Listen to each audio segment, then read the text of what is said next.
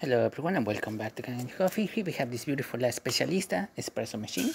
Now this machine was brought here because the grinder unfortunately got damaged. Uh, coffee grounds backed up all the way here and it unfortunately clogged the grinder and it broke the belt that is underneath this motor. As it, when we were testing it out, it was keeping a couple of gears and it was not grinding at all. So we had to put a new grinder in there and now we're going to test it out. Now in order to, re to replace this grinder, you literally need to remove the front panel, side panels, this side cover as well, back, back, back cover and top cover as well. Mm -hmm.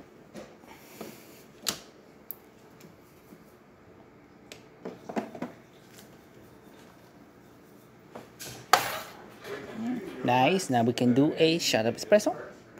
Like I was saying, yeah, you need to really remove all that, those pieces in order to get to the grinder and once you get to the grinder you have to reconnect all these wires individually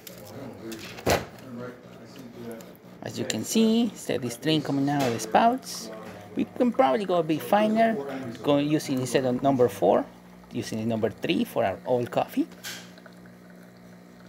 As you can see that was a steady stream coming out of the machine gonna stop it here as the customer has it programmed past 2 ounces of liquid.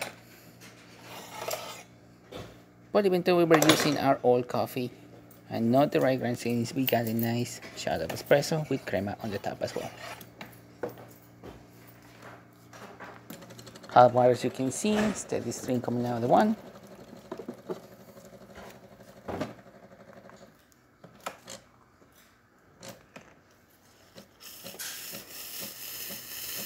Steam we're gonna be testing it in a bit. Just give it a thermal block a few seconds to heat up. Once it gets up to temperature we're gonna see steam coming out through the one just like this. And as you can see there is steam coming out of the machine. Excellent temperature great pressure working excellent. So there you have it De'Longhi La Specialista working once again and ready to brew. Thank you so much for repairing Kanen Coffee. Please subscribe to the channel if you haven't done so already. Hit that like hit that bell and thanks for watching